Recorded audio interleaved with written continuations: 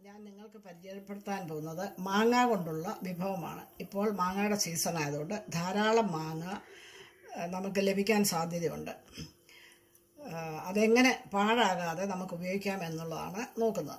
അപ്പോൾ അതിനെ mango squash ആദ്യമായിട്ട് ഉണ്ടാക്കി കാണിക്കാം. പല പല വിഭവങ്ങൾ ഉണ്ടാക്കാമെങ്കിലും ഓരോന്നോരോന്നായിട്ട് ഞാൻ നിങ്ങൾക്ക് പരിചയപ്പെടുത്താം. മാങ്ങ സ്ക്വാഷ് എങ്ങനെ ഉണ്ടാക്കാം നോക്കാം. നല്ല വിളഞ്ഞതും പഴുത്തതും കേടില്ലാത്തതുമായ മാങ്ങ നാട്ടുമാങ്ങയാണ് ഉത്തമം. നല്ല മണമാണ് അതിന് മധുരവും മാങ്ങ എടുത്ത് കഴുകി ഒഴുക്കുവെള്ളത്തിൽ കഴുകി വൃത്തിയാക്കി ഒരു വാലം വെക്കുക.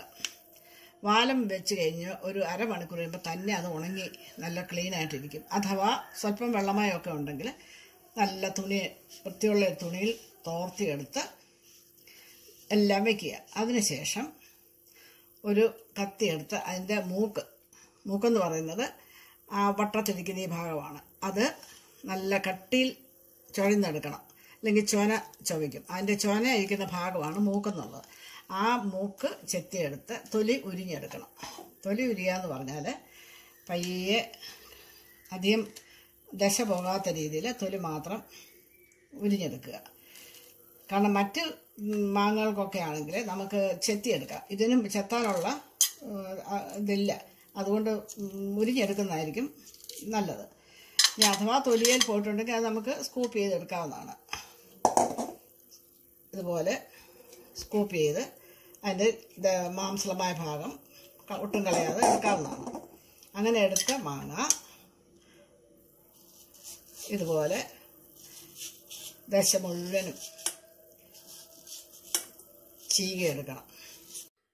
അങ്ങനെ എടുത്ത പൾപ്പ് മിക്സിയിലെടുത്ത് അരച്ച് അരിച്ച് നല്ല വൃത്തിയുള്ള അരിപ്പയിൽ അരിച്ച് എടുത്ത പൾപ്പാണിത് അത് ഒരു കപ്പിന് ഞാനൊരു സിമ്പിളായിട്ട് എന്റെ കണക്ക് പറയാം. ഒരു കപ്പ് പൾപ്പിന് ഒന്നര കപ്പ് പഞ്ചസാര. ഒന്നര കപ്പ് പഞ്ചസാരയും അര ടീസ്പൂൺ സിട്രിക് ആസിഡ് ഈ ഒരു ഒന്നര കപ്പ് വെള്ളത്തിൽ ഒരു ഈ പറഞ്ഞ അളവ് പഞ്ചസാര ഇട്ട് തിളപ്പിച്ച് സിട്രിക് ആസിഡ് കൊണ്ട് തിളപ്പിച്ച് ആറിച്ചെടുക്കുന്ന വെള്ളം ആണ് ഉപയോഗിക്കേണ്ടത്. ഇപ്പോൾ ഞാൻ അതൊക്കെ നേരത്തെ ചെയ്ത് വെച്ചിട്ടുണ്ട്. അതിലോട്ട് ഈ ഒരു കപ്പ് പൾപ്പും കൂടെ ഒഴിച്ച് പൾപ്പൊഴിച്ച് നല്ലവണ്ണം ഇളക്കി ആറ് കഴിയുമ്പോൾ പൊട്ടാസ്യം മെറ്റാബൈ സൾഫേറ്റ് കാൽ ടീസ്പൂൺ ഒരു ടീസ്പൂൺ വെള്ളത്തിൽ ഈ പൾപ്പിൽ തന്നെ അരിയിച്ച് അതിന്റെ കൂടെ ചേർത്ത് ദീർഘതാളിരിക്കും ഞാൻ സാധാരണ ചെയ്യാറ്. ഇങ്ങനെ അങ്ങ് വെച്ചേക്കും. ഫ്രിഡ്ജ് വെക്കും. അപ്പം ഒരു മാസത്തോളം കേടുകൂടാതിരിക്കും. ഇപ്പം പ്രിസർവേറ്റീവ് ഒക്കെ ഇത് ഹെൽത്ത് കോൺഷ്യസ് ആയതുകൊണ്ട് നമുക്ക് താല്പര്യം പോലെ ചെയ്യാം. കൂടുതൽ നല്ലിരിക്കണമെങ്കിൽ പൊട്ടാസ്യം മെറ്റാബൈ സൾഫേറ്റ് കാൽ ടീ ഒരു പിഞ്ച് ഈ ജ്യൂസിൽ കലക്കി ചേർത്ത് വെച്ചാൽ ദീർഘനാൾ കേടുകൂടാതിരിക്കും. വായു കടക്കാത്ത നല്ല അടപ്പുള്ള കുപ്പിയിൽ എടുത്ത് സൂക്ഷിച്ച് വെക്കാം ഒരു കാല ഒരു വിധത്തിലും പ്ലാസ്റ്റിക് ഉപയോഗിക്കരുത്. നല്ല കുപ്പി ജാർ തന്നെ ഉപയോഗിക്കണം. ഇത് അങ്ങനെ തയ്യാറാക്കി വെച്ചിരിക്കുന്ന സ്ക്വാഷാണ്.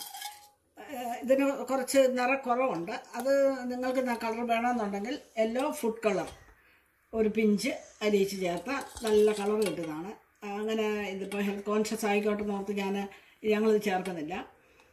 പിന്നെ ഇത് ഉപയോഗിക്കുന്നത് എങ്ങനെയാണെന്ന് ചോദിച്ചാൽ കാൽ കപ്പ് ഈ സ്ക്വാഷ് എടുത്ത് അതിന്റെ കൂടെ മുക്കാൽ കപ്പ് വെള്ളവും ചേർത്ത് ഉപയോഗിക്കാം നല്ല രുചിപ്രദമായ സ്ക്വാഷാണ്.